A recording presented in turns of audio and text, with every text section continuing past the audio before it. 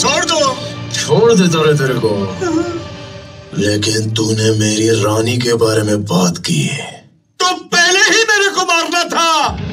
किसी और दिन काटा तो बिरयानी। खिला पिला के पे काटा तो कुर्बानी।